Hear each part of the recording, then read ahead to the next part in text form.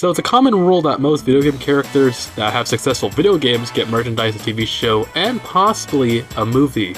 Most characters, like Sonic and Mario, did extremely good, so they got films many years later that were a success. But what if I told you that Earthworm Jim might have had a movie?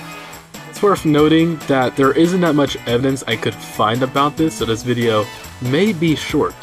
So around 1995, just one year after the success of the first Earthworm Jim game, Playmates Toys and Shiny were profiting off the success of the game, with them making action figures, and in 1995, Naples and others would pitch a TV series based off of the game, which actually got greenlit by Universal and Warner Bros. and aired on Kids WB in September of 1995.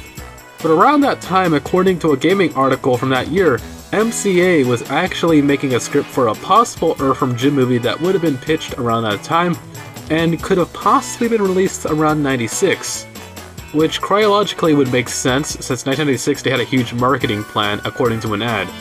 Those would be making a second wave of action figures, which sadly got canned, more episodes of the show, which sadly got cancelled due to the mixed demographic and critics who felt meh about the show, Earthworm Jim appearing at Universal Studios, which was actually proven true, and a multi-million dollar commercials, and a few other plans that they were thinking of. Some were executed, some weren't executed. So it's quite possible that if they actually were planning to make a movie that year, um, it would have worked well for their marketing campaign, or it would have been part of their marketing campaign.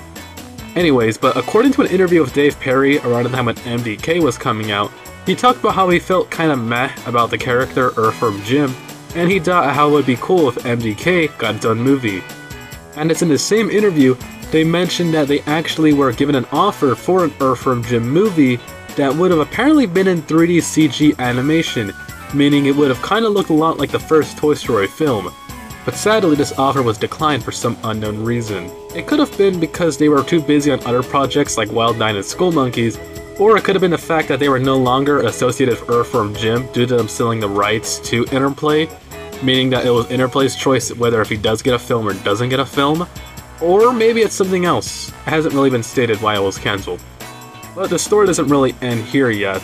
According to a Twitter post from 2013, TenNapel said that if they got to 50k likes by August, he would have released a PDF version of the Earthworm Jim movie script that was abandoned.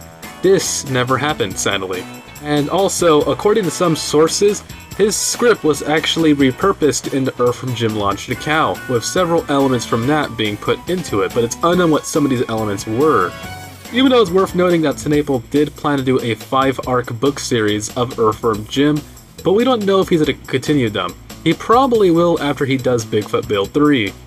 Whatever the case is, Earthworm Jim would have had a movie in the 1990s, but it was somewhat declined, and somewhat got reworked into a book. And all we gotta say now is that Earthworm Jim Beyond Groovy, which or will not probably happen, all we must do is wait and see if the show will ever happen. What do you guys think about this?